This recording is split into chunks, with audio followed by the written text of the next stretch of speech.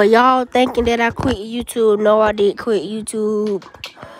Our truck is like rough times right now, but no, I did quit YouTube. And yeah. But I'll check up with y'all tomorrow. Tomorrow. Yeah, we'll be doing something tomorrow. So Good content. We I